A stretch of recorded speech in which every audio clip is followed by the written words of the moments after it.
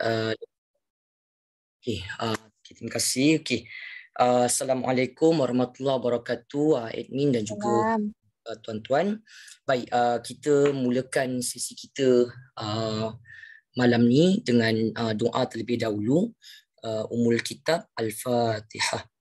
أعوذ بالله من الشيطان الرجيم بسم الله الرحمن الرحيم الحمد لله رب العالمين الرحمن الرحيم مالك يوم الدين إياك نعبد وإياك نستعين إهدنا الصراط المستقيم. صراط الذين أنعمت عليهم غير المغضوب عليهم ولا الضالين. آمين. بسم الله الرحمن الرحيم. الحمد لله رب العالمين. حمدا يوافي نعمه ويكافئ مزيده. يا ربنا لك الحمد كما ينبغي لجلال وجهك الكريم وعظيم سلطانك. اللهم اغفر لنا ذنوبنا ولوالدينا وارحمهم كما ربونا صغارا. اللهم نور قلوبنا بنور هدايتك كما نورت الأرض بنور شمسك. أبدا أبدا برحمتك يا أرحم الراحمين. وصل اللهم على سيدنا محمد وعلى آله وصحبه وبارك وسلم والحمد لله رب العالمين.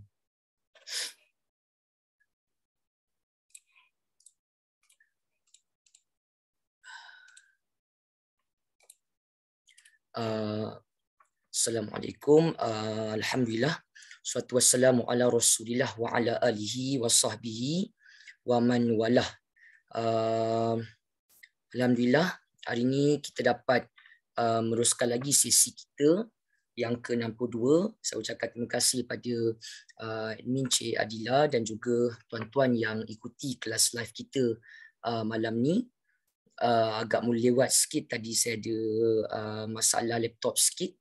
Okey, uh, kalau tengok dalam uh, kita punya uh, poster yang kita kongsi dengan tuan-tuan ni, uh, tajuk kita tu uh, kita nak bincang hari ni tentang tentang kalusan kata dan juga gaya bahasa uh, Al-Quran.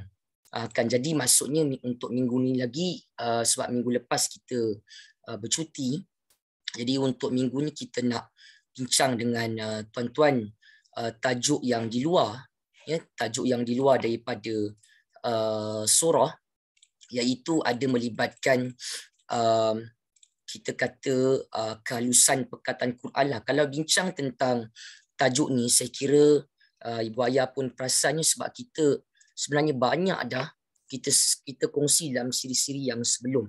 Uh, kita kongsi apa? Kita kongsi yang sebelum-sebelum ni kita dah banyak kongsi.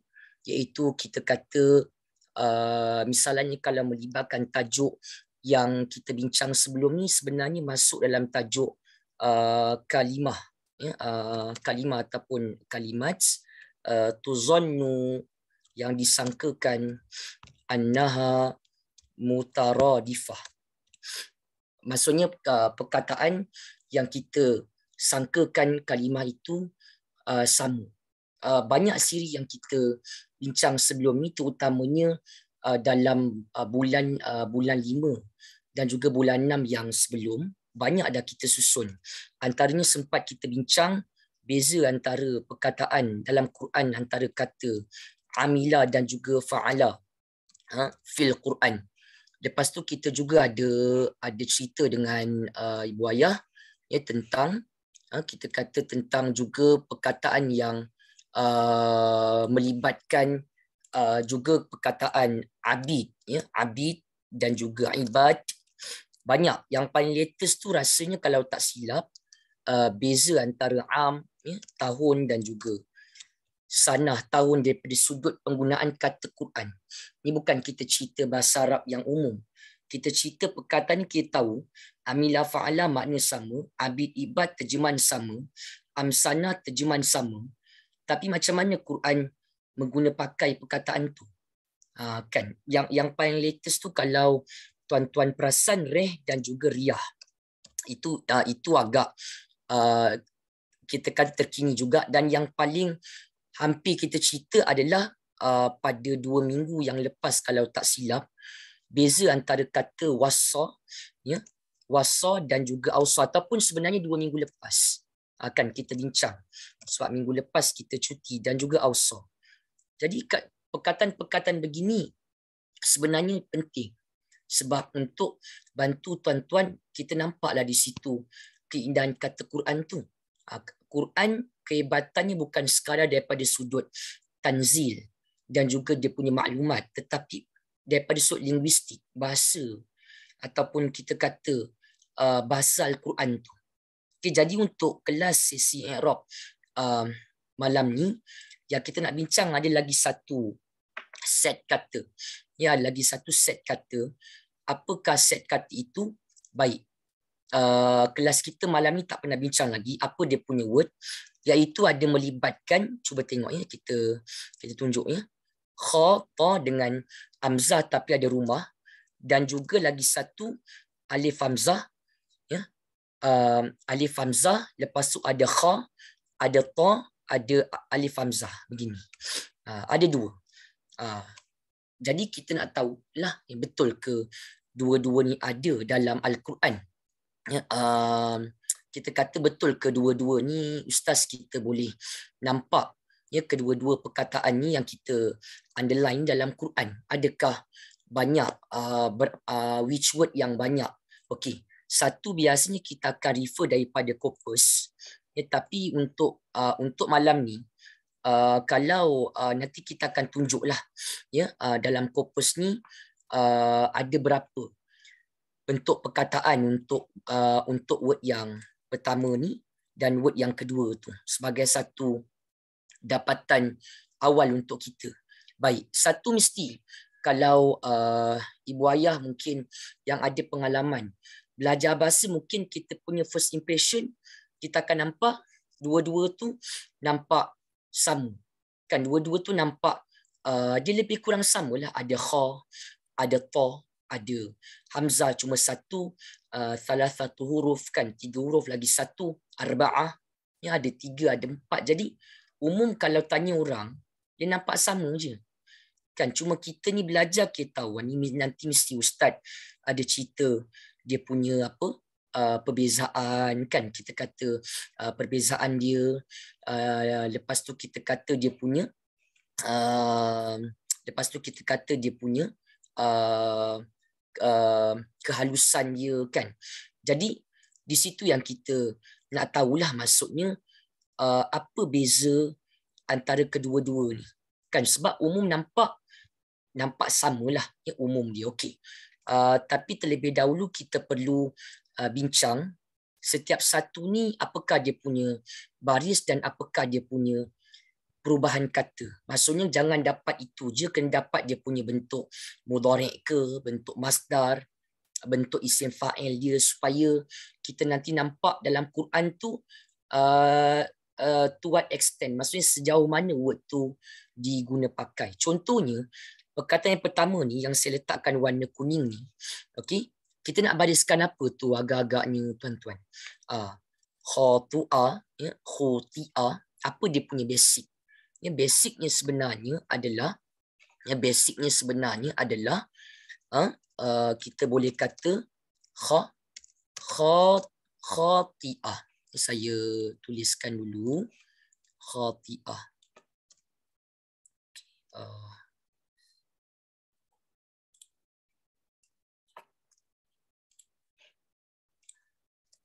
Okay. Uh, satu khati'ah.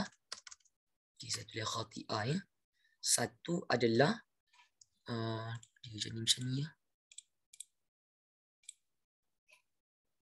Okey. Satu adalah khati'ah. Satu khati'ah. Okey, ini kita baca khati'ah tau. Kita, kita tak baca khatu'ah ataupun khata'ah, ya khati'ah. Apa dia punya proof? minal mu'jam daripada qamus. Ya, tuan-tuan tengok. Okey, saya tulisnya. Ha, ni besar-besar kita tunjuk dengan tuan-tuan. Ha, ya. Okey. Khati'ah. So clear ya? Khati'ah. Okey. Dia bukannya khatu'ah, khata'ah, khati'ah. Okey, kita tulis ada ada kha, khati'ah. Sama. Okey. Jadi nanti kita akan nampak berapa banyak word khati'ah dengan dia punya derivation dengan dia punya perubahan kata wujud dalam Al-Quran dan apa makna yang ada pada wording itu. Yang kedua kita nak baris siapa? Uh, yang kedua tu saya kira uh, kalau ibu ayah perasan dia lebih dia awalannya ada halif hamzah. Betul tak? So dia macam kita jumpa perkataan akroma kan, memuliakan, akhraja ni ada ada satu ayat Quran Allah Subhanahu wa taala sebut allazi akhrajal mar'a akhraja. Ya, lepas tu ada ada khala memasukkan uh, akhraja mengeluarkan. Uh, ya jadi yang kedua ni yang yang yang wording yang kedua yang kita letak warna biru ni kita nak bariskan apa? Uh, dia bunyi sepadan macam tadi ada khala akhraja. Jadi word warna biru tu nak baris apa akhta. Akhta'a. Akhta'a. Okey. Uh, lagi satu nak pesan uh, dengan tuan-tuan kalau nanti nak dapatkan uh, nota-nota ni dan juga uh, nanti uh, ialah nota untuk rujukan boleh uh, boleh PM saya lah. Ni boleh boleh uh, message. Okey. So dua word ni. Ya kita kata yang kedua tu akhta'a. Saya tunjuk dia punya bukti kita nak cross check supaya uh, tuan-tuan nampak lain kita bukan kita tak ada rujukan ni bukannya kita main sebut macam tu je. Kita tengok daripada kamus. Ya, kamus al-ma'ani ni boleh check lah. Uh, bagi saya satu uh, rujukan yang baik kalau kita ni kerap kelas talaki online kita boleh rujuk. Ni tuan-tuan tengok ni. Akhta'a ya ni. Mana? Okey ni akhta'a ya okey. So betul ni akhta'a nombor 16 sitash akhta'a so kita tulis uh, akhta'a sama. So betul ke ustaz dua-dua sama? Cuba tuan-tuan tengok. Kalau tadi ya yang kita sebut yang pertama tadi apa? Uh, khati'ah. Uh, kan pertama tadi kita sebut khati'ah. Baik. Tadi kalau kita sebut khati'ah ya um, kita kata kalau yang khati'ah ni ya uh, khati'ah kita akan nampak diberikan perangan apa? Kalau khati'ah ya uh, word yang pertama ni khati'ah dia ada tulis di sini. Kalau khati'ah cuba tengok dia ada tulis di sini antaranya dia tulis di punya perangan hada ya. Hada hada ani hada ani sawab ni pegang. Ni hada ani sawab ni maksudnya hada ni macam kita boleh kata divert lah menyimpang. Ani sawab ni daripada as-sawab yang kita biasa sebut wallahu a'lam bis-sawab akan Allah yang lebih mengetahui kebenaran. Dia menyimpang daripada kebenaran. Khati'ah, ya, kalau kita nampak khati'ah, uh, the first word dia tiga huruf. Khati'ah, uh, guna wazan fa'ilah. Khati'ah, nanti kita cek daripada modul. Ya, khati'ah dia sebut, khati'ah, ya, dia punya perangan kamus, hada, hanya sawab, menyimpang daripada kebenaran. Maksudnya melakukan kesilapan, melakukan kesalahan itu makna yang terbitlah. Tapi kalau kita lihat pada nombor yang 16 tadi ya, nombor yang ke-16 ya. Um, nombor yang ke-16 ni ya akhta'a which is tadi kita jumpa dia akhta'a tu yang kedua kan. Akhta'a cuba tengok apa yang disyarah. Akhta'a pun dia tetap sebut contohnya kalau akhta'a dia tetap juga sebut ghalibnya salah ataupun hada ani ani sawab. Nampak tak? Kalau ikut kamus ikut kamus Arab yang biasa maksudnya nak kata apa?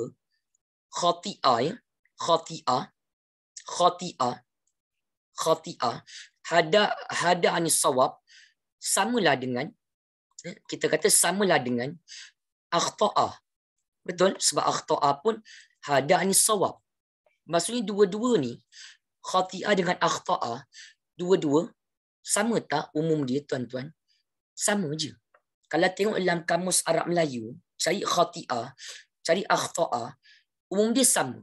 Kita boleh kata maksudnya uh, dua-dua tu datang dengan pengertian yang sama, iaitu kita boleh katalah macam uh, hadani sawab tu kita boleh kata ya uh, melakukan ya uh, melakukan ataupun membuat uh, kesalahan ya uh, membuat kesalahan ataupun kesilapan ya ataupun kita juga boleh kata uh, berbuat ya uh, berbuat salah uh, berbuat uh, dosa ya berbuat silap ataupun bersalah, berdosa.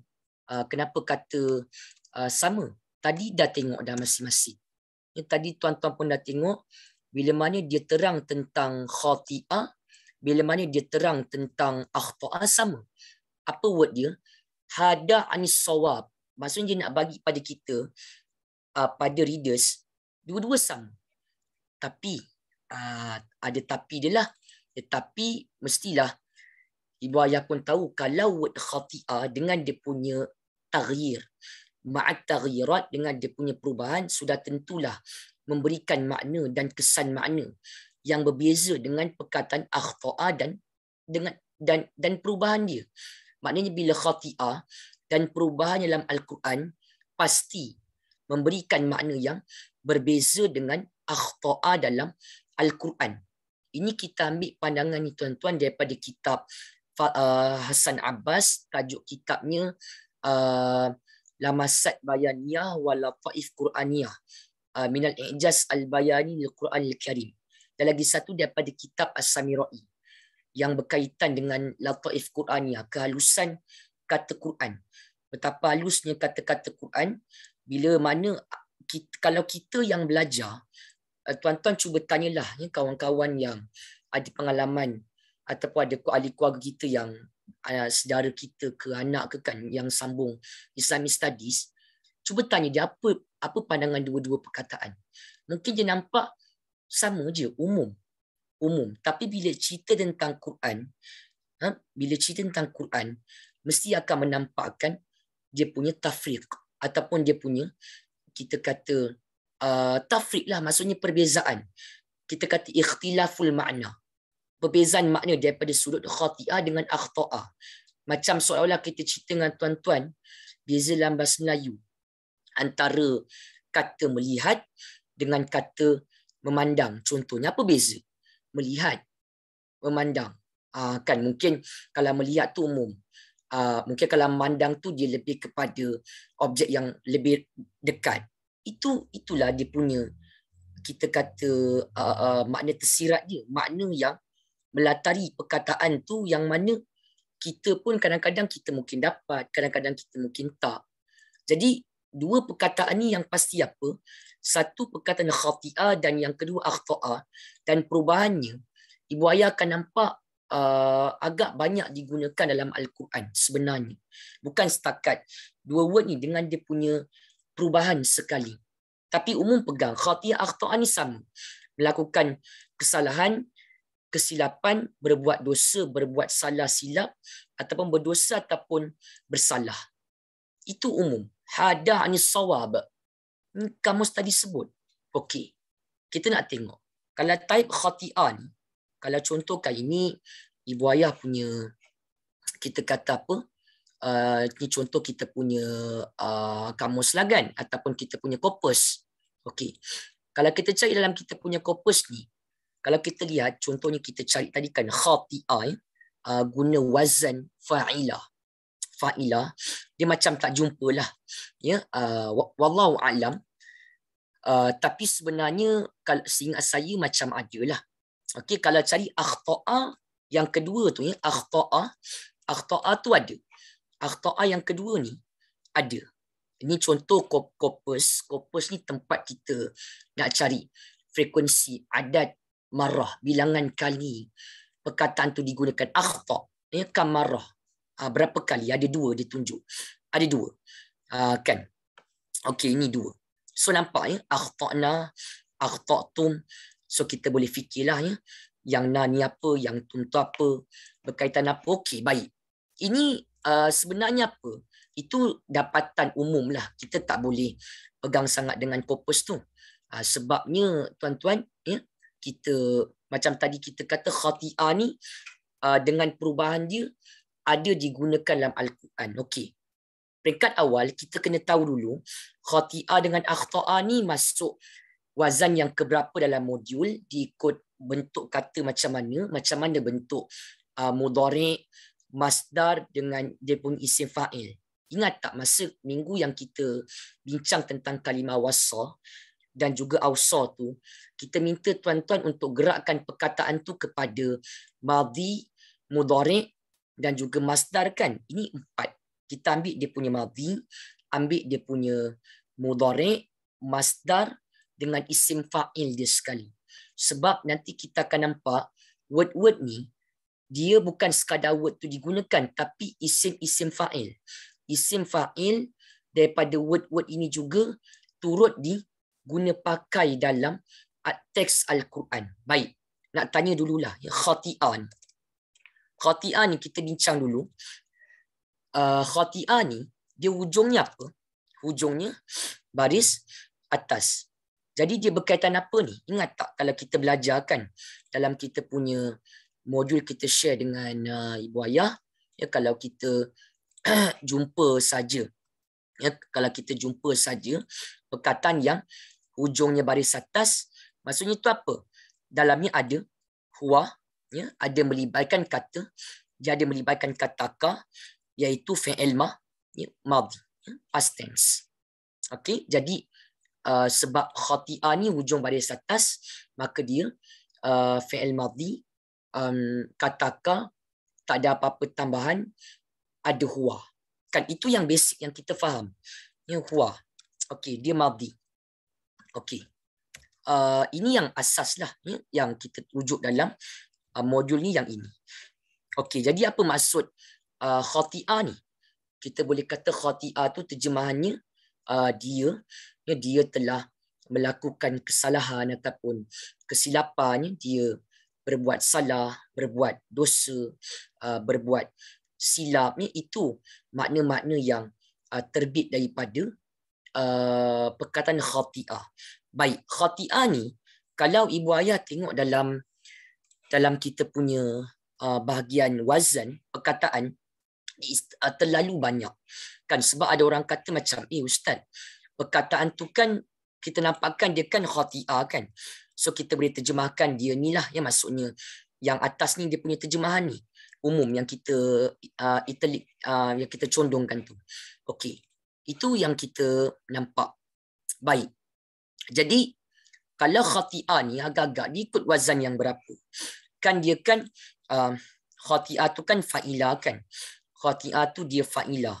So kita tengok fa'ilah eh macam uh, macam kita akan nampak fa'ilah tu uh, 1.3 pun boleh kan fa'ilah ya, kita kata fa'ilah 1.3 tu ataupun kita kata uh, 1.5 tu pun uh, uh, fa'ilah juga kan tapi 1.3 fa'ilah dia punya mudhari'nya bentuknya yaf'alu yang 1.5 punya wazan fa'ilah tapi dia punya mudhari'nya dia punya bentuk yaf'ilu Sini 1.3 mudhari'nya yaf'alu. 1.5 dia punya mudhari'nya yaf'ilu. Macam mana nak tahu? Kita tak boleh main pilih macam tu je. Kan tuan-tuan, kita kena tengok apa? Kita punya mu'jam, kita punya qawamis, ha? kita punya qamus. Kita tengok. Ha. Tadi kita ambil yang khati'ah kan? Ha, kita ambil yang nombor satu lah. Raqam wahid. Khati'ah. Cuba tengok. Khati'ah ya yakhta'u kan yakhta'u yakhta'u yakhta'u ni dia punya mudhari' lah kan dia punya present future tense sebab ada anita ada dhamma kat ujung yakhta'u yakhta'u tu dia asal daripada bunyi apa yakhta'u yakhta'u yaf'a yaf'alu lah kan yaf yaf'alu uh, kan ya uh, kita kata kalau yakhta'u adalah yaf yaf'alu. Yakhta'u yaf'alu. Jadi kita sepakat ikut 1.3 lah punya wazan. Uh, 1.5 ni bukan. Sebab yaf'alu akan dapat dia punya word mudhari'nya yakhta'u. Uh, Okey, kita ambil. Kita pun tulis dia 1.3. 1.3. Okey. Kita cuba, tadi kita dah dapatkan dia punya madhi uh, fa'ilah. So bila kita sebut fa'ilah akan dapat apa? Bila fa'ilah tu tuan-tuan akan dapat kita masukkanlah yang fa'ilah akan dapat kha okey uh, fa'ilah so kha khati'ah. Kan okey. Lepas tu apa? Lepas tu dia punya uh, mudhari'nya yaf'alu so kita akan dapat apa? Bila yaf'alu bila kita masukkan pada word tu ya uh, dia uh, am, dia amza tu atas rumah alif pula dia memang macam tu uh, kalau ikut kepada kamus ikut kepada kaedah kan khati'ah kalau hujung dia hamzah tu uh, kita kata dia punya rumahnya pada macam rumah ya maka bila nanti dia tukar kepada mudhari bila nanti dia tukarkan kepada mudhari yang hamzah tu kita letakkan atas rumah alif pula. Dia memang ada dia punya uh, kawaid kitabah dia lah. Memang dia macam tu kaedah tulis okey. Jadi bila kita masukkan bunyi dia dapat apa? Yaf'alu dapat yakhta yakhta'u okey ni kita dah sesi 62 uh, minta tolong tuan-tuan kalau uh, yang baru ikut tolong tengok balik uh, rakaman yang awal-awal dan nak minta tolong juga pada ibu ayah sharekan link kelas. Kalau adik ikut dia bi sharekan. Ya di telefon sharekan kepada kawan-kawan kita yang kelas lelaki ke uh, family members ke yang ada yang kita nampak ada kecenderungan lah uh, minat belajar ataupun uh, share sajalah moga-moga mana tahu kan uh, sebab kita berkongsi tu uh, kita dapat sebar kebaikan juga sebab ni memang kelas yang kita yang ada uh, Qur'an Center buat khas untuk tuan-tuan ni kelas untuk orang awam umum bagi siapa yang nak belajar bahasa Al-Quran lah secara uh, mingguan. Ya okey baik. Kalau kita lihat tuan-tuan pada dia punya masdar. Uh, isi masdar ni apa? Kata nama terbitan macam uh, dia ada imbuhan apitan ke dengan an ke apa dengan an ke dia macam pemulihan pukulan uh, sepakan. Itu masdar lah. Sebab dia terbit daripada verb dia. Kan macam sepakan. Masdar daripada sepak. Uh, macam tu. Jadi mau tak mau istilah-istilah yang asas kita kena betul-betul faham jangan macam baca uh, tuan-tuan ikut tapi kita tak boleh bezakan apa maksud masdar, apa makna isim fa'il, itu penting. Baik, masdar dia apa? Fa'lun. Kan fa'lun. Baik, bila kita sebut fa'lun, kita dapat apa? Bila kita sebut fa'lun, ya, maka kita akan dapat, bila kita masukkan, dapat apa? Uh, kita kata bila kita masukkan, dapat fa'lun khot, khot'un. Tapi uh, untuk makluman ibu ayah, ya, uh, tuan-tuan, Arab ni jarang sebut khot'un ni. Yang dia biasa sebut apa?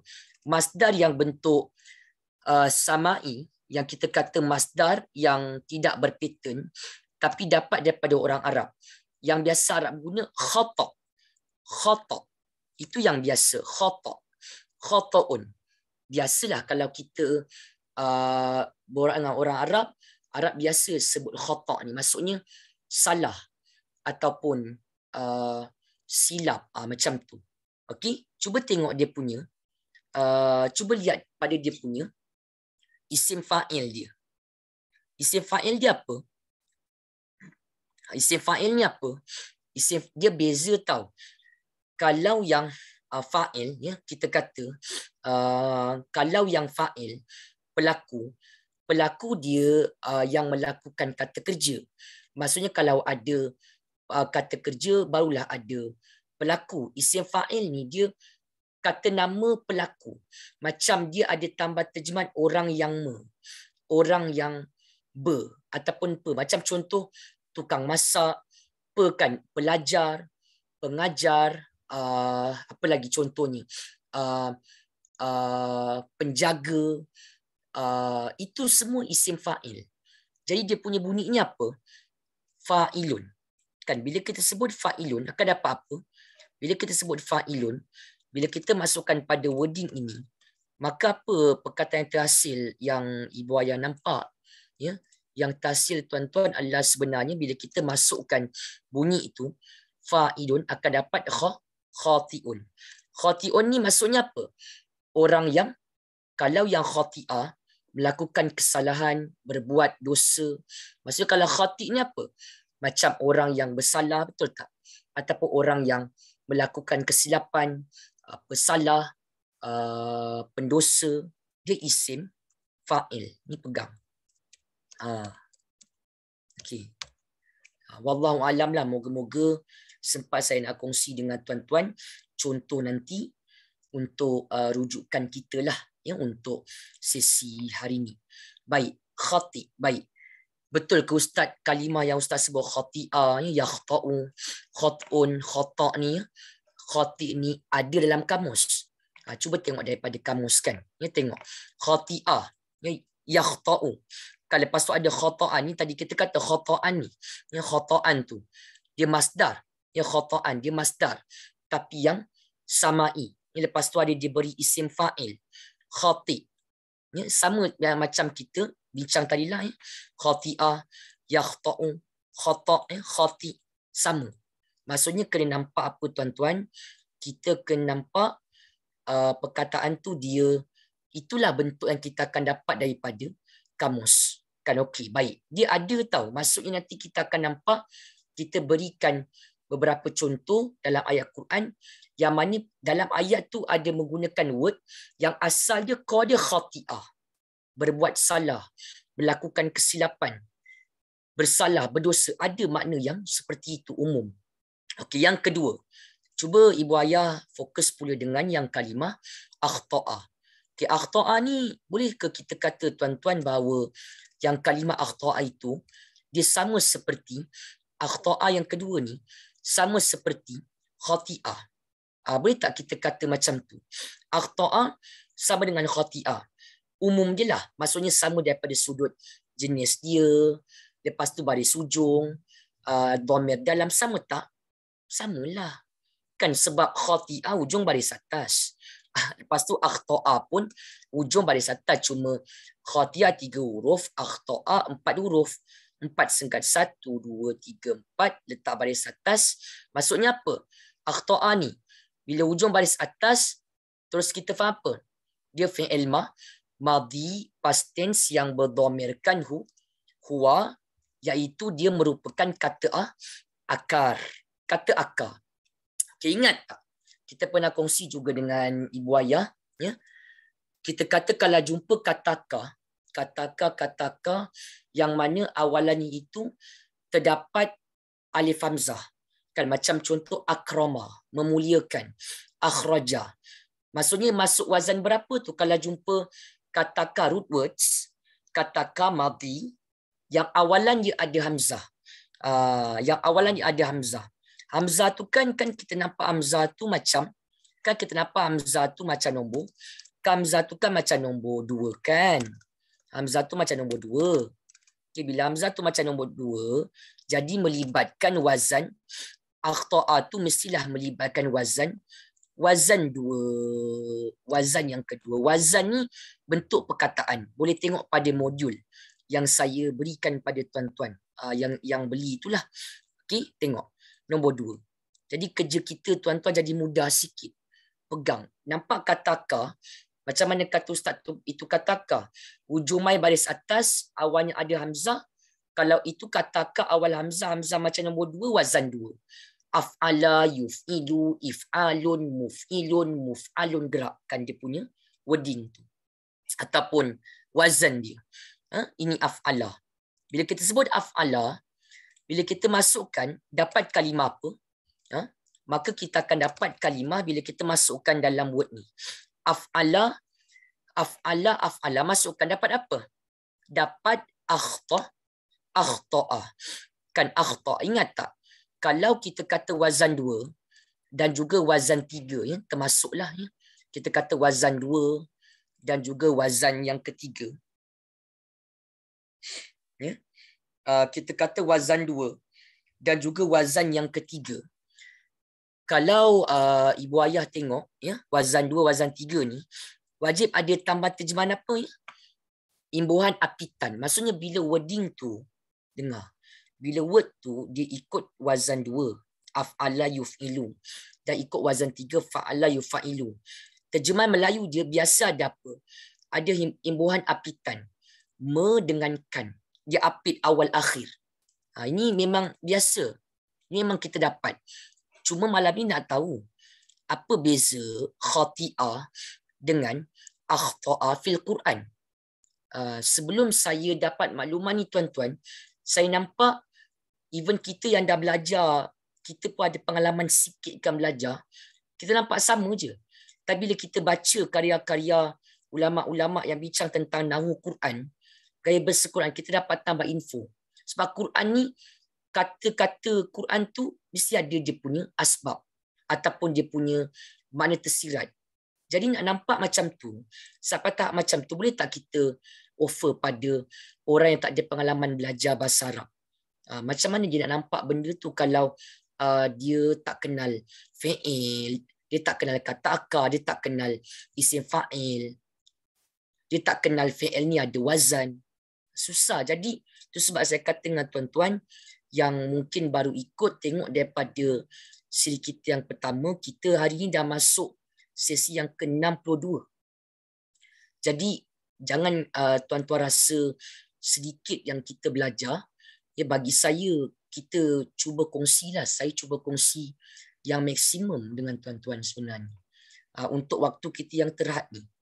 Uh, sebab kenapa? Sebab uh, kita nak supaya ibu ayah nampak ada certain point bila kita belajar bahasa Quran ni dapat meningkatkan kita punya minat, iman kita dan kecintaan kita pada Quran. Di situ nampak keindahan bahasa ni. Nanti kita akan tunjuk contoh, itu lebih clear. Sebab ini mau kepada teori dulu kan. Lebih kepada mafhum dengan dia punya nazariat dulu. Okey, akhta. Akhta'a. Jadi apa dia punya, kita kata, uh, jadi apa dia punya mudhari' yang wazan dua tu? Yuf'ilu. Kan, maka bila kita sebut yuf'ilu, ya, yuf'ilu, yuf'ilu. Bila kita masukkan pada word ni, akan dapat apa? Bila kita menyebut yuf'ilu, bila kita masukkan dapat yukhti, yukhti'u. Okey, apa dia punya masdarnya, tuan-tuan? Masdarnya adalah if'alun kan. If'alun bila kita masukkan pada word kita. Contoh yang sekarang ni bila kita masukkan dapat apa? If'alun. Dapat apa? Ikhta, ikhta'un. Ikhta'un ni samalah eh, kita kata uh, uh, kita kata uh, kita kata ikhta'un ni samalah seperti khat'un ataupun khata' masdar ya wrongdoings kesalahan ataupun kesilapan itu makna yang ada apa dia punya isim fa'ilnya tuan-tuan isim fa'ilnya adalah ya kita kata apa isim fa'ilnya muf muf'ilun uh, kan isim fa'ilnya muf muf'ilun ya muf'ilun. Bila mana kita sebut muf'ilun, muf'ilun, bila kita masukkan pada word ni dapat apa? Muf'ilun dapat dapat mukh mukhtiun. Ya ini isim ini isim fa'il. Plus ya plus macam yang ibu ayah semua tahu kan? Macam yang tuan-tuan tahu ya ustaz pernah bincang sebelum ni kata kalau jumpa word isim isim isim tu dia togel tak ada apa-apa tambah kita jumpa isim tu contoh awalnya ada mim. Kan mim. Lepas tu sebelum akhir dia baris bawah. Sebelum akhir macam apa? Muslim mukmin muallim mutawif munafiq mujahid uh, mukhti itu mesti isim apa kalau jumpa dengar ya kalau jumpa word awalannya mim dhammah sebelum akhir baris bawah muslim, munafik, mukhti, mujahid, semua tu mutawif, maka itu semua isim fa, isim fa'il, kata nama pelaku. Word itu mesti ada tambahan terjemahan kebiasaannya orang yang me, orang yang ber, ataupun pe. Cuba tengok pada modul. Tuan-tuan tengok muf'ilun, mufa'ilun, mufa'ilun, mufa'ilun, apa tak? Ini semua isim fa'il. Isim fa'il ini dua bentuk lah. Satu bunyi fa'il, lagi satu bentuk word tu awalnya mim dhamma dan sebelum akhir baris bawah. Ha, macam tu. Jadi kaedah dia. Ni semua orang dapat kan? Itu semua orang pernah dengar. Okey, baik. Kita dah tunjuk dengan tuan-tuan. Baik, kita nak cross check. Betul ke Ustaz? Bila mana perkataan yang daripada akar dia akhta'a akan dapat akhta'a yukhti'u ikhta'un mukhti'un.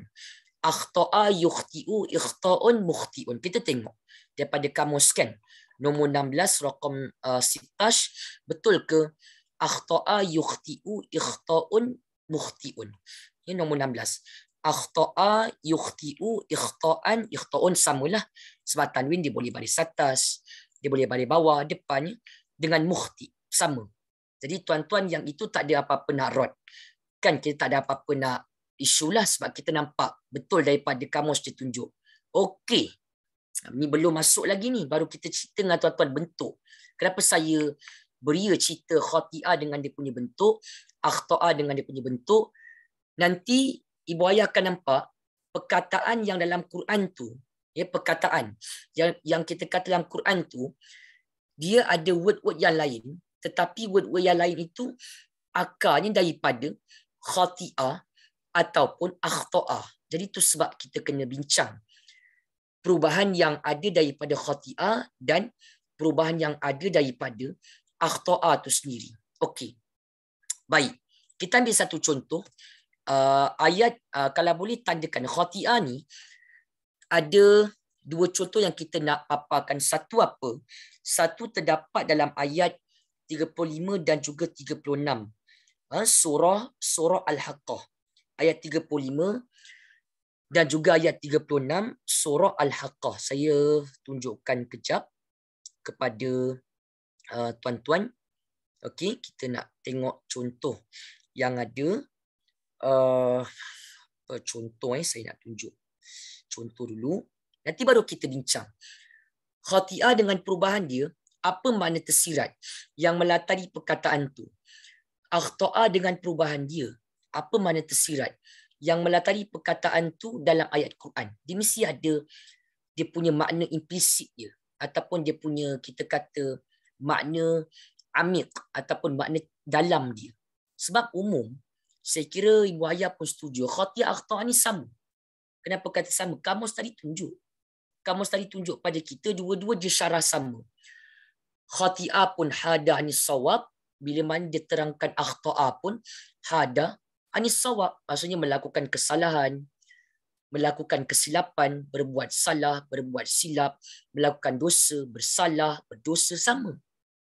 Apa beza kalau Quran dia tunjuk ada beza ke? Ada. Mesti ada. Ini pendapat As-Samirai, ya, tuan-tuan dan juga Hasan Abbas. Dua-dua memang kibar ulama dalam bidang uh, lurah. Uh, memang uh, banyak karya mereka yang cerita tentang ha? yang yang cerita tentang Al-Quran sebenarnya. Okey. Saya tunjukkan dulu contoh yang uh, pertama yang boleh kita ambil yang begitu uh, dekat dengan kita. Okay, contoh dia pertama boleh ambil ya tandakan ayat maaf ayat 36. Ha ya ayat 36. Ayat 36 uh, ayat 36 dan juga 37 ayat 36 uh, sebenarnya dia satu je sebenarnya tapi kita ambil ayat 36 dengan 37 tu supaya nampak dia punya perkaitan ayat dan baru boleh faham uh, which word yang ada asal khati'ah dan kenapa dia guna macam tu? Ayat 36 dan juga 37 ini contoh yang pertama uh, syahid al-awwal. Yang kedua adalah ayat uh, 8 okay. uh, yang kedua ayat uh, 8 ayat 8 ni surah surah al-qasas. Surah al-qasas. Uh, sebenarnya banyak yang saya nak bincang dengan tuan-tuan. Cuma mungkin ada part yang kita perlu skip sebab uh, kalau nanti dibincang takut melirik sangat jadi ada yang part yang saya skip jugalah ya uh, jadi kalau nak tahu maklumat tambahan tu boleh tengok nanti pada nota dan nanti boleh PM teruslah kalau ada soalan uh, yang berkaitan. Okey, ayat 36 37 ni al-haqqah ya tuan-tuan. Al-haqqah. Al-haqqah. Okey, kita lihat daripada ha, kita kata daripada uh, al-Quran. Ini uh, punya contoh. Okey. Alright. So minta uh, tuan-tuan ni yang uh, yang tengah live ya kalau boleh jauhkan daripada bunyi-bunyi itu uh, supaya tuan-tuan dengar jelaslah ya apa yang kita kongsi ni. Okey, uh, saya cerita dulu apa yang kita nak explain tu dia punya uh, contoh dia supaya kita lebih nampak. Kita tengok contoh nanti baru kita ceritalah ya, apa apa dia punya uh, tafriq min haitsil ma'na. Apa dia punya perbezaan daripada sudut makna dia. Kata dia beza, apa beza dia? Ha. Okey. Memang kalau benda-benda macam ni, kalau tuan-tuan tanya pada pelajar Islamic Studies pun, bukan semualah. yang dapat jawab uh, sebab kenapa dia bergantung kepada uh, uh, kita kata penguasaan individu tu terhadap uh, gaya basal Quran. Sebab kalau umum sama, uh, kalau umum sama, macam saya dulu pun kita nampak sama je. Tapi bila kita rujuk kan, bila kita talaki, bila kita rujuk uh, rujukan-rujukan kitab, kita nampak ada beza. Yang ketara, ha? yang yang begitu ketara. Okey, saya tunjuk dulu mana. Al-Haqqah. Surah Al-Haqqah ya. Tuan-tuan tunggu sekejap. Standby. Kita nak tunjuk contoh. Al-Haqqah. Ayuh. Hazah. Saya tunjuk dulu. 36 dan juga 37. Okey. Uh. tuan-tuan masih ikuti kita punya kelas uh, yang ikut boleh tengok pada Quran boleh tengok pada yang kita kongsi ni lah ya. Mungkin tak berapa clear sangat. Mohon maaf kalau kurang jelas ni tuan-tuan sebab dia uh, apa kita resize ni kan okey. Baik. Ayat 36 dan juga 37 kita cuba lihat surah al-haqqah ayat 36 ya wala ta'amun illa min ghislin ah, ini cerita tentang apa? Ayat ni menceritakan tentang neraka. Yang mana ahli neraka ahli nar mereka punya makanan. Mereka punya makanan. Allah kata apa? Wala ta'amun. Dan tak adalah satu pun dan tak ada langsung makanan untuk penduduk neraka. Dalam dalam neraka. Kecuali apa? Illa min ghislin ghislin ni dia benda yang kotor. Tuan tahu tak apa? Dia kalau terjemah nusantara dia dia terjemah macam air danur tahu dia itu macam darah dengan nanah macam tu. Kita cuba tengok terjemah dia kan darah dan juga nanah. Jadi kita boleh bayanglah ya itu bentuk makanan yang Allah berikan kepada ahli neraka. Ya dalam neraka pada hari akhirat. Maksudnya itu satu bentuk azab lah kan kepada mereka. Kenapa jadi macam tu? Ya uh, apa apa sambungan cerita dia? La yaquluhu ya la la ya la ya'kuluhu. Okay. La la ya'kuluhu eh, illa Sekejap ya. La ya'kuluhu uh, la ya'kuluhu illa al-kha illa al-khati'un. Eh, illa al-kha illa al-khati'un. Saya zoom sikit ni tuan-tuan sebab nak kasih nampak sikit lah ya. Al-khati'un. Baik. Jadi dalam ayat ni agak-agak yang mana word yang kita nak fokus tu? Al-kha al-khati'un ini word ini kalau tuan-tuan tengok uh, dia sebenarnya uh, ialah kita kata al-khati'un tu ini tulisan Arab yang resam Osmani. Kalau untuk belajar kita kena tulis yang kitabah imla'iyah. Kalau kha tu kan ada mat kan kena tulis alif. Al-kha begini. Kha lepas tu ta. Hamzah tak ada rumah kan letakkan rumah dia. Hamzah tu atas rumahnya iaitu rumahnya wow al-khati'un begini. Baru clear ke al-khati'una begini. Jadi kita nak tahu. Kita nak tahu sedikit lah. Maksudnya di situ banyak perbincangan tu banyak. La tu la apa. Kenapa pilih al-khati'una. Kita bincang satu-satu. Ha, tuan-tuan dengar elok-elok. Ya, okey. Al-khati'una. Kenapa Ustaz al-khati'una kenapa tak ada una? Ingat tak tuan-tuan bila perkataan ada una. Maksudnya apa? Word tu dia muzakkar ya dia maskulin dan dia jamak sah jamak salim. Tengok modul. Tengok modul. Ah, tolong. Tuan tengok modul. Una. Ya dia muzakkar dan juga jamak salim. Okey. So nanti timbul isu. Kenapa pilih una? Kan kenapa tak pilih ina? So banyak soalan yang menuntut kita tuan-tuan untuk kena tahu juga sedikit jadi biasalah kalau saya melirik bincang tu tuan-tuan kena kena kena lalukan je. Sebab fokus kita memang al khatiun tu. Tapi mestilah kita nak tahu kenapa macam una. Kan lepas tu la ni la apa. Banyak dah bincang ni. Uh, kan banyak kali dah bincang. Ayat ni kan la yaqulu saya ambil dia punya yang lebih clear sikitnya. Al haqah dan uh, saya nak tunjuk sikit pada tuan-tuan um, harap-harapnya sempatlah bincang habis uh, contoh tu Okay, cuba tengok kat sini. Ayat 37 kan tadi? Ya, 37. Okay. Ni. So macam, tuan-tuan nampak ini resap Osmani kan? Tapi untuk belajar, saya sarankan Ibu Ayah untuk tulis yang dia punya kitabah imla'iyah. Al-Kha tu tulis Kha begini. Ti untuk Hamzah, rumahnya wow. Una begini. Ha, boleh juga. Tak ada masalah. Inilah apa? Satu soalan. Ah, cepuma semalam ni. Lah apa ni agak-agaknya tuan-tuan? Ah, Ustaz ada, uh, kita dah pernah kongsikan. Kita kata apa? La ni dia banyak. La dia banyak. Uh, kan la banyak. Ya, kita kata ada la apa? Uh, kita kata ada la. Uh, kita kata ada la yang uh, ada la yang nafi. Tidak. Lepas tu ada la yang la yang jazam satu ni. Uh, jangan. Uh, jadi ingat tak? Uh, inilah apa agak-agak.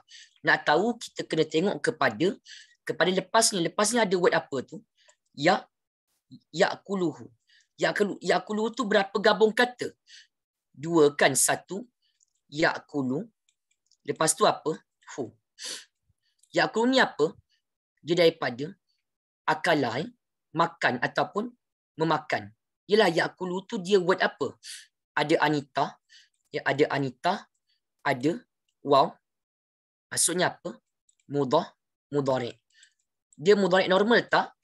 Mudarik yang normal. Ha, kan kita ada kongsingan tuan-tuan.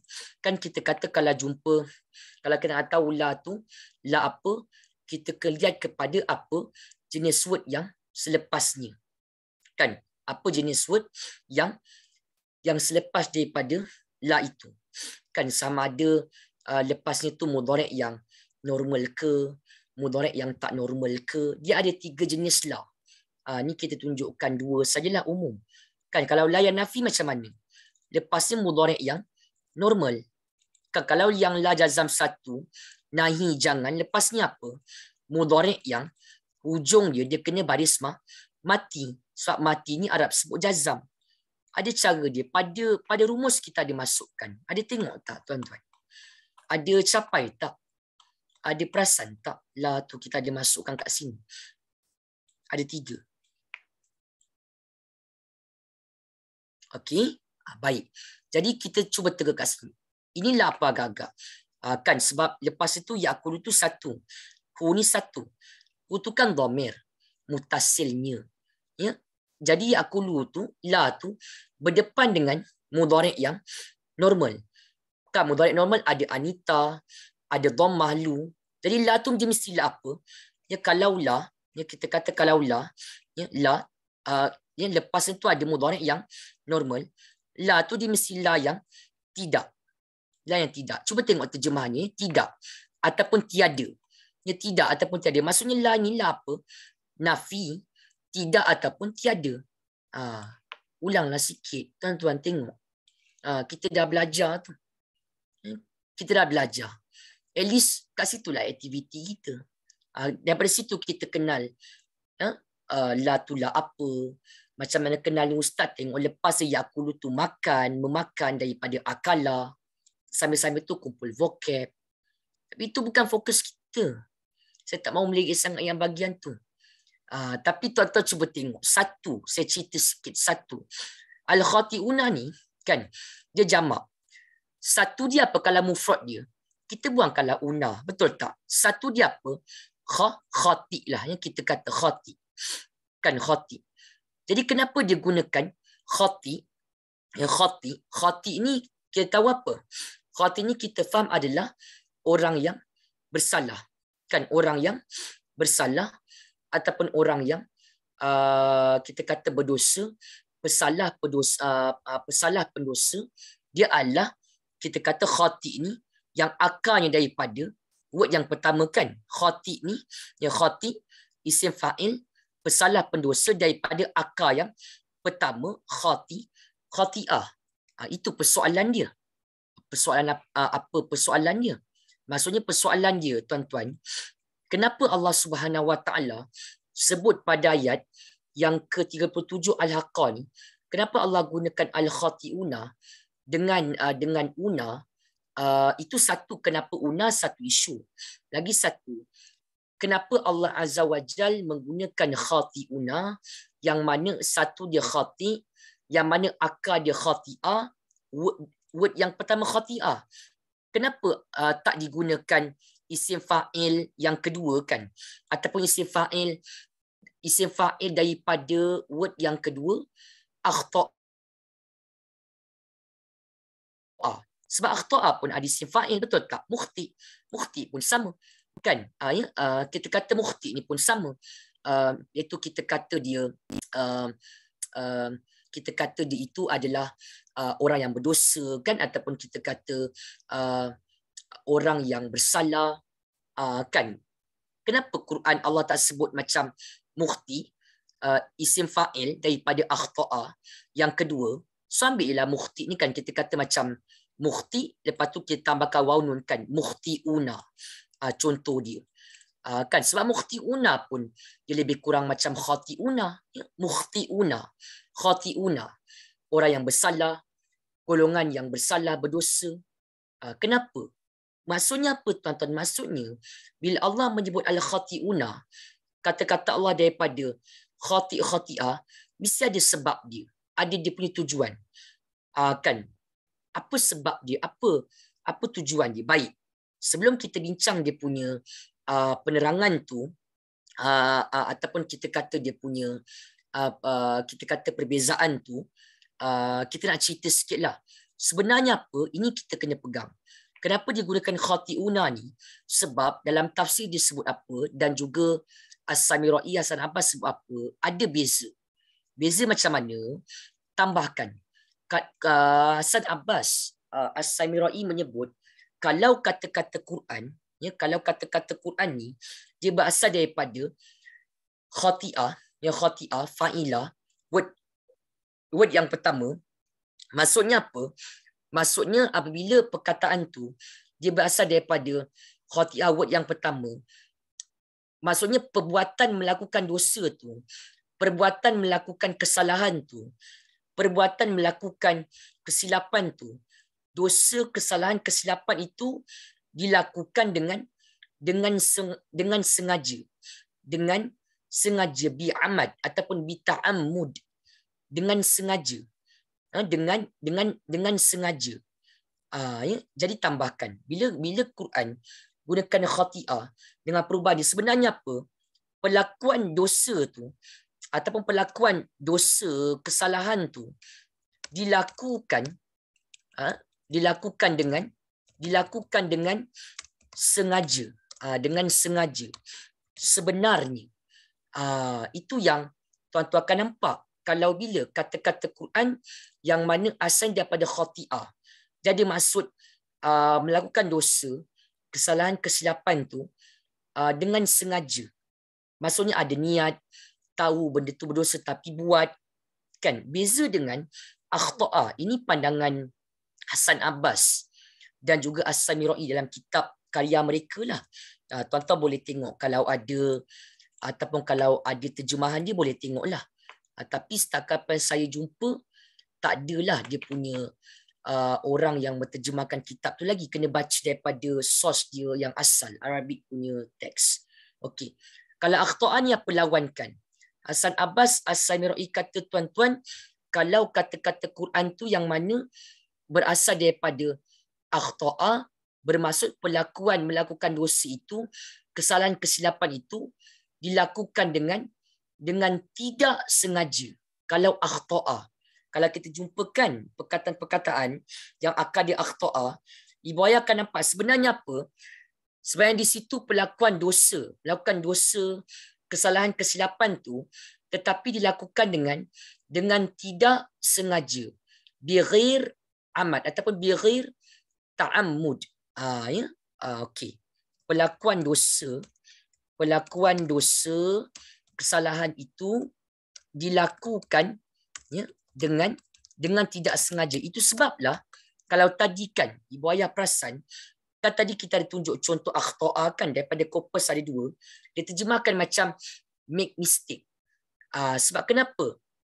Sebenarnya penterjemah begitu uh, arif dengan merujuk kepada tafsir. Dia tahu khati'ah begini, akhta'a begini dalam Al-Quran, maka jangan peliklah kalau ibu ayah nampak ya perkataan-perkataan Quran yang mana asal daripada akhta'a sebab akhta'a ni merujuk kepada melakukan kesalahan, kesilapan dosa tapi tak sengaja, maka kita akan nampak akhta'a tu dan juga perubahan dia akan diterjemahkan dalam Al-Quran kepada apa? Kepada lebih kepada terjemahan macam uh, tersilap ya uh, ataupun khilaf. Ya, kita kata khilaf, khilaf, khilaf ya, maksudnya tersalah. Dia akan ada terjemahan macam tu sebenarnya. So macam nampak pelik lah sebab eh ustaz tadi kamus tunjuk khati'ah fa'ilah akhta'a af'ala hada anisawab sama. Kalau tuan-tuan buka kamus, dua-dua setakat PSFAM lah, tuan-tuan, dua-dua, dia akan beri maksud yang sama. Ya? Melakukan kesalahan, kesilapan, dosa itu. Tapi rupanya apa? Quran membezakan. Khati'ah dengan dia punya perubahan, melakukan dosa, kesalahan, kesilapan dengan sengaja. Maksud dia, tetapi kalau Quran mengguna pakai perkataan yang akar di akhta'a, itu bermaksud melakukan dosa kesalahan tu, kesilapan tu dengan tidak sengaja. Maka sebab itulah akan terbit daripada terjemahan perkataan yang mana akar di akhta'a, ya, perkataan yang mana akarnya akhta'a akan diterjemahkan kepada akan diterjemahkan kepada uh, berbuat salah. Uh, uh, maaf akan diterjemahkan kepada tersilap tersilap ataupun tersalah ataupun khilaf ya, itu makna itu makna yang yang ada daripada terjemahan akhta'ah ya, yang yang biasanya akan akan diterjemahkan dalam ayat-ayat Al-Quran. Nanti kita akan tengok. Okey. Dah habis dah cerita bahagian tu balik pada contoh tadi kan. Ya, ayat 36 37. Soal haqah. Kat sini dua isu. Ya mesti kat sini ibu ayah nampak dua isu. Satu apa? Satu kita nak tahu. Kenapa una? Tadi dah boleh bezakan Ustaz kata khati'ah dengan dia dengan dia punya perubahan makna begini. Okey. Akhta'a ma'at taghyir al-kalimah eh, ma'al mushtaq. Dengan pecahan kata dia makna begini. So itu clear. Uh, yang dapat kita faham daripada Quran. Ni kita cerita dengan tuan-tuan Quran. Okey. Dua isu kat sini. Satu, kenapa una? Kenapa dia gunakan una? Okey. Cuba tuan-tuan dengar ya. Ini tadi la ni la apa? La nafikan sebab lepasnya tu yakulu mudhari' normal. La berjumpa dengan mudhari' normal, la nafi ya tidak ataupun tiada. Jadi la yakulu tu maksudnya apa? Ya tiada. Uh, tiada yang akan memakannya ataupun tidak ada yang akan memakannya. Hu ni, hu ni dhamir mutasil ni Yahu tu, dhamir mutasir tu, dia kembali kepada rislin tu. Iaitu air danur. Dalam terjemahan dia terjemahkan danur. Begitulah maksudnya darah dan juga nanah. Allah kata apa tuan-tuan? La ya'kuluhu ya. Tidak ada yang akan memakan makanan itu ataupun tidak ada yang makan darah dan juga nanah itu illa ya harf istisna kecuali siapa kecuali siapa al-kha al-khatiun. Golongan apa? Golongan yang melakukan dosa ataupun golongan yang berdosa. Ya, orang-orang yang berdosa. Okey, maksudnya Allah nak berikan gambaran lah ya. Ahli neraka masuk dalam neraka makanannya hanyalah uh, darah dan juga nanah tak ada siapa pun yang akan makan benda-benda macam tu kecuali siapa al-kha al-khatiun orang-orang yang berdosa tapi dosa ni macam mana? Orang-orang yang melakukan dosa dengan dengan sengaja. Dengan sengaja tanpa ada taubat kepada Allah. Ya, orang-orang yang kafir yang melakukan dosa dengan sengaja, ya sengaja menyekutukan Allah Subhanahu Wa Taala. Nampak tak impact? Impact kat situ bila kita fikir, oh ustaz tadi ada cerita khati'una satu dia mufrad dia khati. Akan dia khati'ah. Khati'ah ni kan ada berkaitan dengan buat salah dosa tu sengaja. Ha. Jadi kat situ kita boleh nampak relevan kenapa dia gunakan khati'una. Kenapa tak gunakan ustaz isim fa'il iaitu mukhti kan contohnya? Ha, sebab tuan-tuan tahu kan sebab kita tahu kalau yang mukhti itu ya kalau yang mukhtiuna mukhti dia akhta'a akhta'a dah memberikan makna yang berbeza sebenarnya. Betul tak? Jadi itu sebab yang kita belajar tu setiap kata-kata Quran tu dia memang dah fit dah dengan tema tu ah uh, sebab Allah nak gambarkan apa punyalah Allah nak gambarkan apa uh, orang-orang yang ahli neraka masuk dalam neraka makanan-makanan mereka daripada darah dan juga dana yang makannya itu daripada kalangan siapa? Ya, golongan-golongan yang yang melakukan dosa. Ya, yang berbuat dosa dengan sengaja, ya, dengan berterusan sengaja, tanpa ada bertaubat, tanpa kembali kepada Allah Subhanahu Wa Taala, sifat yang macam tu sebenarnya. Sebab kita pun tahu kan. Ini macam tuan-tuan tahu. Allah Subhanahu Wa Taala kalau fulan tu manusia tu uh, contoh berbuat dosa, tapi kalau tidak sengaja di situ ada ada dimaafkan. Ini macam contohnya terbuat dan seumpamanya dalam keadaan jahil ataupun tidak tahu. Ya? Itu ada keampunan daripada Allah Subhanahu Wa Taala. Maksudnya di situ apa? Bila Allah menyebut al-khati'una, orang-orang yang melakukan dosa, kejahatan, kesalahan dengan sengaja, maka itulah balasan dia. Uh, kan satu bentuk makna yang ada dalam al-khati'una tu kalau kita nak bincang full lah dia punya makna. Tapi diterjemahkan orang-orang yang berdosa je. Tak ada masalah. Okay, itu dah settle. Tapi the, uh, the first thing tadi kalau uh, tuan-tuan perasan apa soalan kita, soalan kita adalah kenapa ya, kenapa al-khati'una? Kan kenapa al-kha al-khati'una? Maksudnya kenapa una? Kan kita belajar ada ada ada una kan? Ada una ada ina. Kenapa kena una? Ha ni uh, kita kemahiran berfikir sikit. Kenapa? Sebab untuk begini untuk nak faham tuan-tuan uh, ibu ayah kena tutup. Uh, ke, uh, kena tutupkan dia punya. La ni tutup dengan ila ni kita kena tutup. Hmm. sebab kenapa?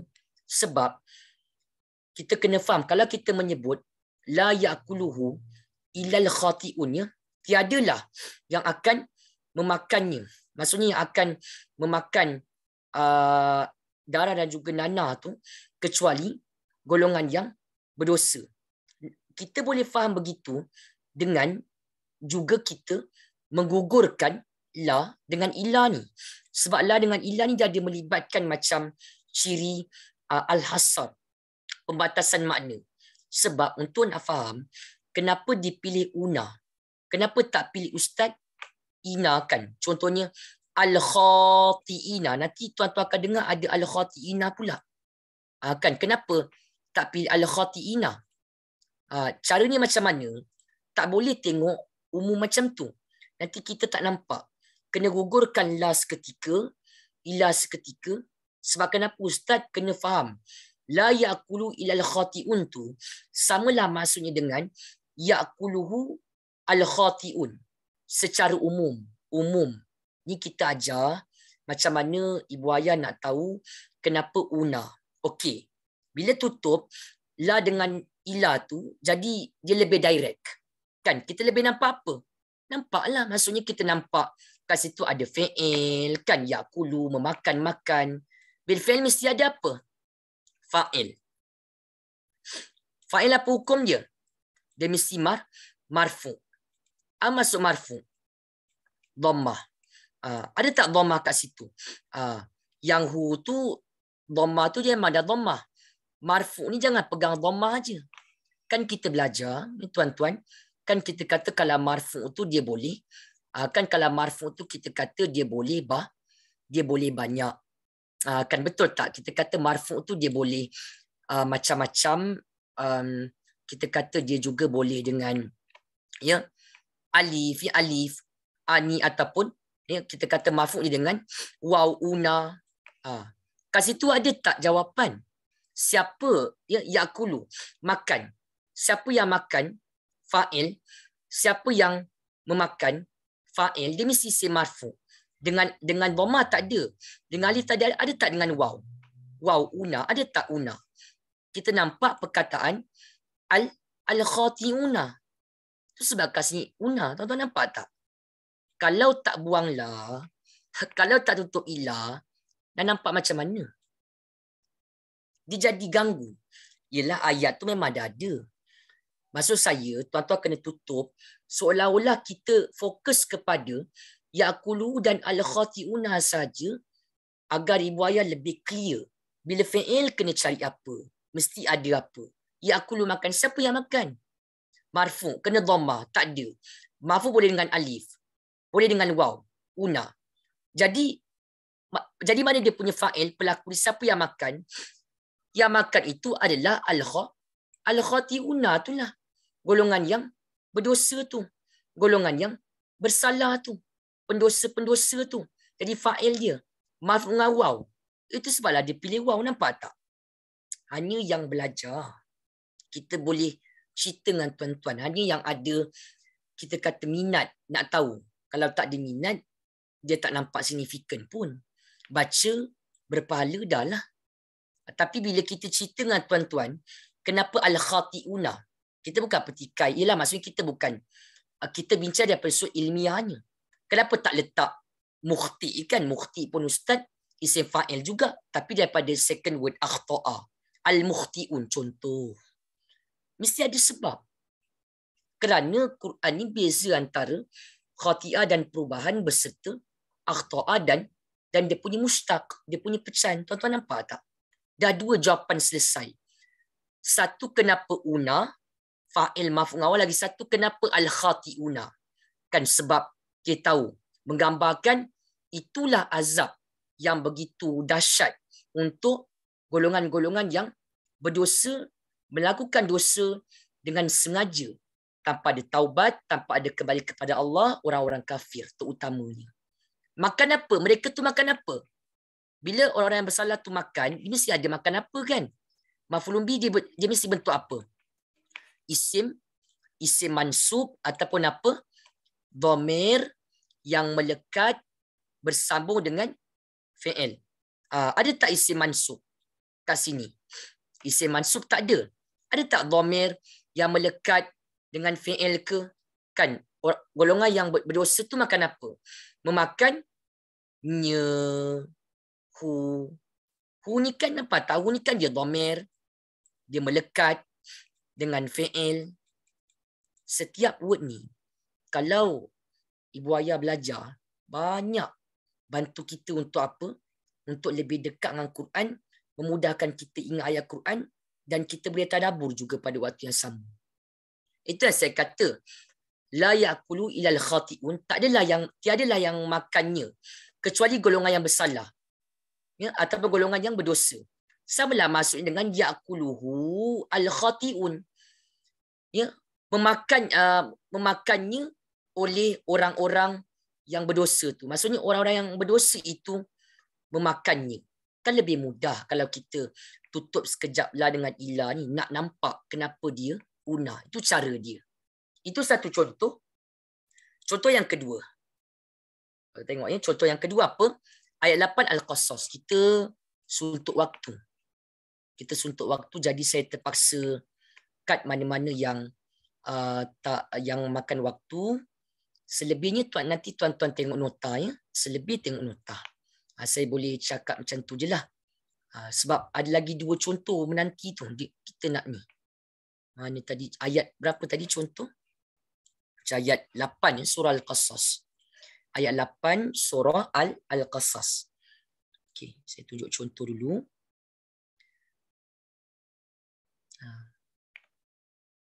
Ayat 8 surah Al-Qasas. Boleh tengok boleh nilai sendiri macam mana penggunaan dia. Mesti ibu ayah pun dah terfikirkan oh, kenapa ustaz dia gunakan begitu ya. Cerita tentang ini cerita tentang Firaun. Allah kata apa tuan-tuan? Inna Fir'auna wa Hamana wa junudahuma kanu khati'in. Ayat 8. Ha, surah Al-Qasas.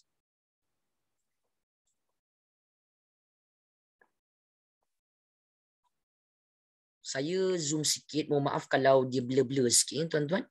Cuba tengok kat sini. Inna. Ya, Fir'auna. Di baris atas lah. Sebab Fir'auna ni jadi isim Inna. Ya, dia kena mansuk. Wahaman. Ma'atuf yang pertama. Wa junudahuma. Junuda. Ma'atuf yang kedua. Tengok. Tengok modul. Ulang-ulang video. Tengok nota sesi. Tengok nota. Tengok bahan kita. Semua tu apa? Kanu yang mereka semua adalah apa? Kha, khati'in. Ini khati'in pula. Ha, kan ini khati'in pula. Ha. Ini khati'in. Ha. So nak tanya uh, tuan-tuannya umum. Um, khati'ina ni, uh, khati'ina di sini, yang khati'ina ni, um, kita nampak ya, khati'ina ni hmm, dia adalah um, dia khati'ina dia ada yanun kan? Bila yanun tu dia, dia apa? Dia muzakkar dengan ja, jamak kan? Tapi kenapa dia pilih ina? Tu nanti kita boleh bincanglah okey? Khati'ina ni satu dia apa? Dia kalau uh, itu banyak kan golongan yang bersalah ya? Orang-orang yang bersalah. Banyak jamak satu dia apa? Khati'ina dia kha khati' kan satu dia khati fa'il isim fa'il. Maksudnya khati ni satu dia khati uh, isim fa'il yang mana asalnya daripada khati khati'ah. Kan? Khati daripada khati'ah. Uh, jadi mesti kat sini pun uh, ibu ayah dah terbayang. Kan? Kenapa digunakan ustaz khati'ina uh, kan? Maksudnya kenapa tak guna yang isim fa'il yang daripada kata yang kedua ni ke kan? Kita kata daripada kata kedua tu akhta'a tu ada juga dia pun isim fa'il iaitu mukhti. Kita tulis contohnya mukhtiina ke kan? Kenapa Allah sebut khatiina? Dalam jamak muzakkar satu dia khati daripada khati'ah. Kenapa? Sebab kita tahu kan tuan-tuan? Apa sifat Firaun? Haman. Ya, dan juga bala tenteranya. Kan mereka tu kan melakukan dosa, kesalahan dengan apa? Dengan dengan sengaja. Kan dengan sengaja. Mendatang yang word sengaja tu ustaz yang dapat kita faham. Khati'ina. Satu dia khati. Khati'in daripada khati'ah. Khati daripada khati'ah. Ulama kata bila khati'ah tu pelakuan dosa. Kesalahan, kesilapan tu dilakukan dengan sengaja. Itulah sifat Fir'aun. Kan? Ya, kita kata tuan-tuan itulah sifat Fir'aun. Ha? Itulah sifat Fir'aun yang mana sampai Allah ya, mengatakan bahawa ya, Fir'aun, ya, Qarun, ya, Haman, ya, uh, uh, lepas tu ada juga dalam hadis ya, kekal dalam dalam neraka Allah Subhanahu Wa Taala. Sebab sifat mereka tu ya, Fir'aun, Haman, bala tenteranya, ya, golongan yang bersalah melakukan kesalahan, kesilapan, dosa dengan sengaja. Maka itulah sebab yang menyebabkan mereka itu kekal dalam neraka Allah Subhanahu Wa Taala. Nampak tak? Ya, khati'ina. Ya, okey, baik. Ni kenapa pilih ina? Kasih tuan-tuan kenapa dia pilih ina? Boleh tak kita bincang sikit? Kenapa? Uh, sebab ya, uh, kita kata bila ina ni, saya habis uh, dalam lagi 5-10 minit ni sebab tadi kita mula lewat kan? Okey, tuan-tuan beri waktu sikit. Kenapa dia ina? Kenapa? Bila ina ni bila ina tu dia masuk yang mana ha? dia boleh sama ada ina tu kita kata apa man mansub dengan ya ina ataupun majrur dengan ya ina kat sini boleh tak kita kata eh, tuan-tuan bahawa ya ah, kita kata kat sini kan dia boleh uh, mansub dengan ya eh. kat sini dia boleh mansub mansub dengan ya ataupun maju dengan ya. Boleh tak kasih kita kata khati'ina ni dia maju dengan ya? Ha. Tak kita kata khati'ina tu dia maju dengan ya? Kalau kita kata khati'ina tu dia maju dengan ya, dia mesti ada sebab kena maju. Kan sama ada dia lepas araf jar ke, ya? Ataupun dia mudhaf ilai ke boleh kata majur betul tak majrur hukum dia adakah uh, kita tengok khati'ina ni adakah dia lepas raf jar? Tak ada. Adakah dia uh, mudhaf ilahi? Uh, kalau nak, nak kata khati'ina ni mudhaf ilahi, kanu dia mesti jadi mu, mudhaf. Adakah kanu dia boleh jadi mudhaf? Tak boleh. Sebab kanu ni apa? Kanu ni dia ada tambahan waw alif di ujung macam amanu macam kafaru. Dan kita tahu kanu tu bila ada tambahan waw alif di ujung dia melibatkan madhi ada dhamir hum dia fi'il. Bila mana kanu tu dia fi'il fi'il fi'il tak boleh jadi mudhaf. Kan fi'il tak boleh jadi mudhaf. Sebab mudhaf dia mesti isim. Nampak tak cara cara tuan-tuan nak tahu ina ni dia sama ada mansub ataupun maju. Dia tak boleh dua-dua sekali lah. Satu word, satu hukum. Kalau kita kata maju, boleh tak? Tak boleh sebab word khati'ina tu dia bukan lepas rafjar. Dia bukan mudhaf ilai. Kenapa kata bukan mudhaf ilai? Sebab kanu tu dia bukan mudhaf. Kenapa kata kanu tu dia bukan mudhaf bersandar? Sebab kanu tu dia fi'il. Yang mudhaf ni isim, isim, isim. Nak faham satu tu kena tengok dia punya link. Maksudnya dia bukan maju. Dia mesti apa khatina. Dia man, mansub dengan ya. Apa sebab dia mansub dengan ya Ustaz? Kan kita kata apa sebab dia mansub dengan apa sebab dia mansub dengan ya? Uh, kita kata kalimah khatina ni ya word khatina ni apa sebab dia mansub dengan apa sebab dia mansub dengan ya? Pilih satu daripada sebelas ni. Uh, agak-agak yang mana? Uh, mafulun bi maful mutlak maful yazim mafulun fi uh, maful ma mafulun fi khabar kana isim ina kalau khabar kana boleh tak tuan-tuan khabar kana uh, kita kata ustaz bahawa kalimah khati'ina ni dia masuk dengan ya betul. Dan itu dia mansub sebab dia khabar kana uh, kan uh, predikat cerita untuk kana boleh kata macam tu? Bolehlah. Logik sebab sebelumnya ada apa? Sebab sebelumnya ada ada kanu. Kan sebelumnya ada kanu. Kanu tu asalnya kana. Ini tuan-tuan nampak tak kita bincang luar ni? Ha, waktu sebenar dah tamat ni. Saya bincang luar sikit supaya nampak. Kenapa dia pilih ina? Kenapa ustaz dia sebut khati ina? Uh, satu dia khati. Uh, itu daripada kata akar khati'ah. Kenapa tak sebut macam mukhtiina daripada second word akhta'a. Ha, sebab ibu ayah tahu kan dua-dua tu ada ada beza dia. Kita cuba tengok akhirnya untuk akhta'a ni. Reka ringkas di akhta'a ni. Dua contoh. Saya ambil contoh lagi. Ha, ya, okey. Dua contoh akhta'a tu.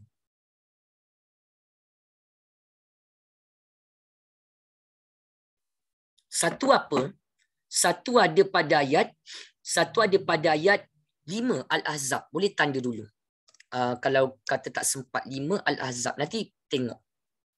5 Al-Ahzab dengan apa? Dengan doa. 286 Al Al-Baqarah.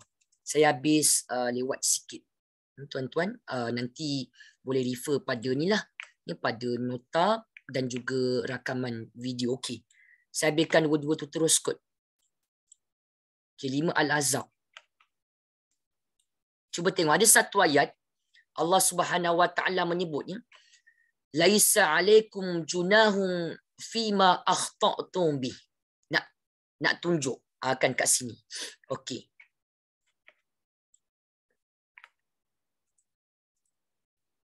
Okey. Laisa alaikum junahun fima akhta'tum bihi. Mana mana nak fokus kalimah akhta akhtatum. Akhtatum ni dia ada apa di ujung? Tum.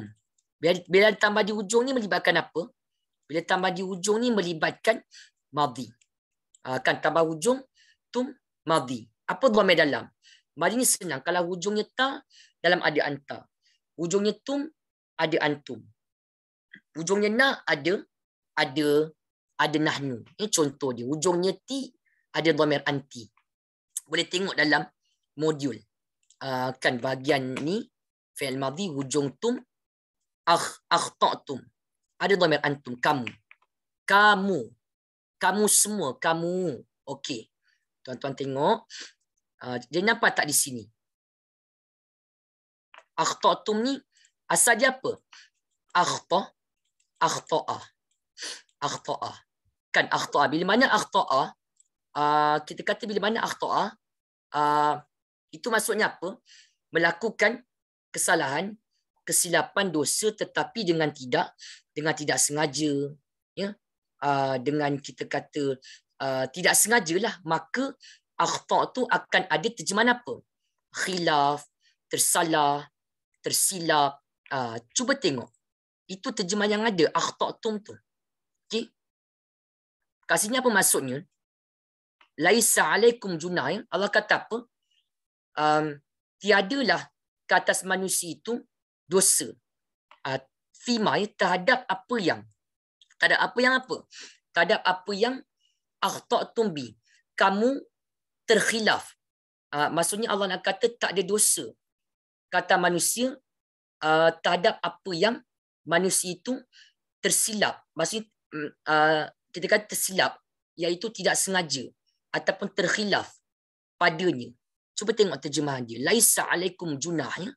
Uh, dan tidak ada dosa atas kamu fima eh, terhadap apa yang ma ni dia ma mausul apa yang kamu khilaf nampak tak khilaf padanya? Kenapa Allah sebut tuan-tuan akhta? Boleh je kan contoh ya contoh ambil word yang khati itu kan? Ya contoh tuan-tuan ambil yang word khati itu ya khati ni ya khati ni khati'ah ya kita ambil word khati'ah lepas tu uh, khati'ah tu kita gerakkanlah kan khati'ah khati'ah khati'ah, khati'u, khati'at, khati'ata, khati'na, khati'ta, khati'tuma, khati'tum. Kan khati'tum. Kenapa Allah tak sebut khati'tum? Ya, ah, khati'tum. Fima khati'tum. Sebab kita tahu Quran ni kata-kata Allah ni membezakan antara khati'tum. Kan kalau khati'tum tu kan kamu buat salah dengan dengan sengaja.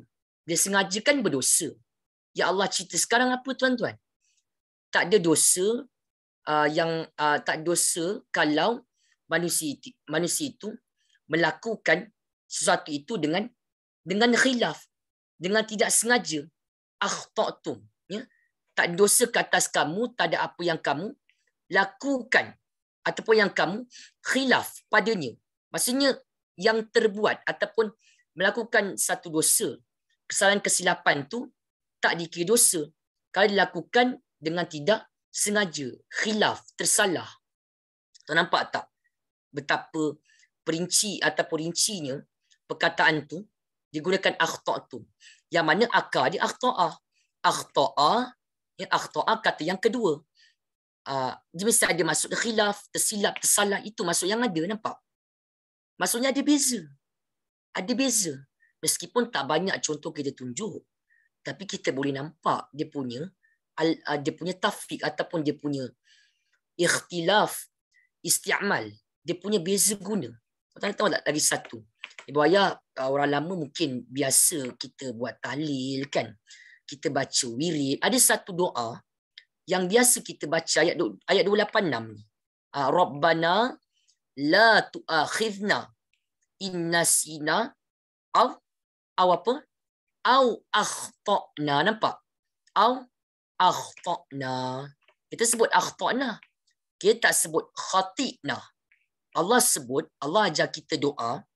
Doa secara rasional. Ialah maksudnya kalau benda tu uh, tersilap tersalah di situ ada keampunan Allah. Kalau sengaja uh, al khatiun khatiin macam Firaun Qarun Haman maka itu memang tempatnya di neraka Allah Subhanahu Wa Taala lah. Kalau tidak bertaubat ya terutamanya orang-orang kafir. Tuan nampak tak kesan kita? Bila kita baca perkataan tu kita nampak maksudnya kata-kata Quran ni kan cipta manusia memang datang daripada Allah Subhanahu Wa Taala setiap kata tu dia ada makna khusus ada tema yang melatari penggunaan kata tu secara Uh, bertema ada ada ada uh, ada ada makna tersirat dia word khati'a begini word akhta'a begitu kan contoh dia kita ambil satu ni 286 okey Saya tunjukkan satu. Alright, kat sini. Tuan-tuan tengok. Okey. Nanti boleh tengok rakaman kalau ada yang mungkin terlepas.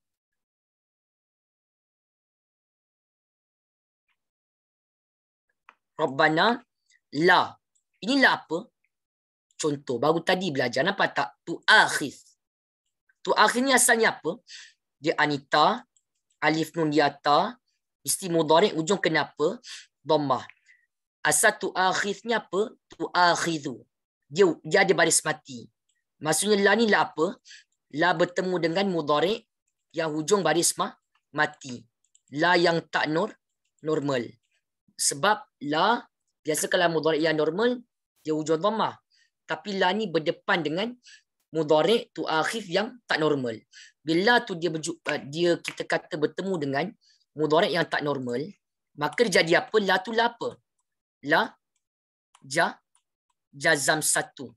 La la nahi. Dan kalau lepasnya apa? Mudarik yang majzum ni maksudnya tak normal lah. Kita kata dia dah baris mati. Majzum tu baris mati. La tu la apa? La jangan. La jangan. Ni Rabbana. Kata tengok ya. Rabbana ya Tuhan kami. Janganlah. Dia bukannya la tidak. Macam tadi la tidak. La yakuluhu la tidak.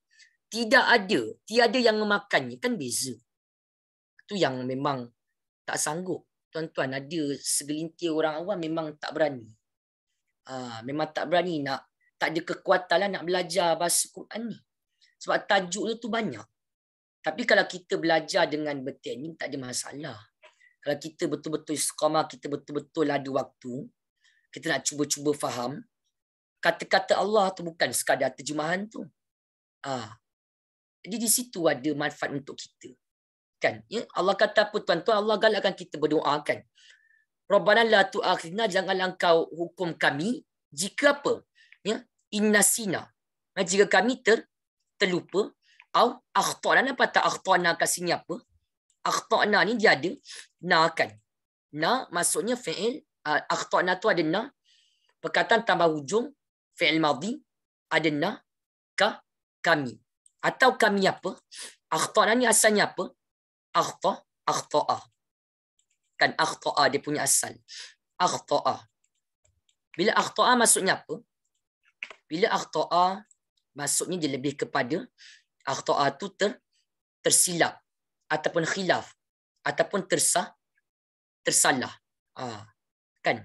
Ya? Ataupun ter, tersalah. Tu sebablah terjemahan akhtana tu kita akan nampak atau kami khilaf ataupun tersilap ataupun tersalah. Itu memanglah ada keampunan daripada Allah. Itu tak dikira dosa. Kalau kita melakukan suatu kesalahan tu tapi tidak sengaja tersalah. Kita tengok terjemahan dia wahai tuan kami janganlah engkau hukum kami jika kami terlupa innasina akhtana atau atau apa atau kami tersalah. Nampak tak? Akhtana ni jadi terjemahannya kami na nahnu kami tersalah. So jadi peliklah sebab tadi kamu dia tunjuk sama. Hak ada ni sawab. Jadi tuan-tuan tengok Quran, dia bezakan. Ha. Jadi kat sini kita nampak disebut akhtana kan. Kenapa tak sebut macam khati'na ke kan? Kita kata khati'na ke, ya, khati'na daripada khati'ah. Khati'ah, khati'ah, khati'u, khati'at, khati'ata, khati'na, khati'ta. Sampai nanu khati'na. Kenapa tak sebut? Kenapa Allah tak sebut khatina? Ah, kenapa kenapa Allah kenapa Allah tak sebut khatina? Maksudnya dalam bahasa Al-Quran terdapat perbezaan antara antara khati'ah dengan perubahan dia dan juga akhta'ah. Kan kalau khatina kan maknanya lain. Kalau khatina tu macam minta ampun. Tapi ah, kita kata terhadap kesalahan yang kita buat dengan sengaja. Akan contoh dia khati'na. Jadi tuan-tuan nampak tak tu sebab setiap setiap kata Quran tu dia ada dia punya uh, makna tersirat dia. Uh, begitulah sebenarnya. Okey. Uh, baik. Uh, saya kira cukup dulu untuk setakat tu. Uh, moga-moga ada manfaat untuk uh, tuan-tuan. Ini uh, modal kita bincang hari ini. InsyaAllah minggu depan kita akan bincang dengan tajuk yang lain lagi insyaAllah. Uh, moga-moga ada manfaat untuk ibu ayah. Kita jumpa lagi pada sesi akan datang. uh, kita akhiri kelas kita dengan doa subhanakallahumma wa bihamdik asyhadu an la ilaha illa anta astaghfiruka wa atubu ilaik wal asr insan la fi khusr الذين آمنوا وعملوا الصالحات وتواصوا بالحق وتواصوا بالصبر بسم الله الرحمن الرحيم اللهم ربنا افتح بيننا وبين قومنا بالحق وأنت خير الفاتحين والحمد لله بالعالمين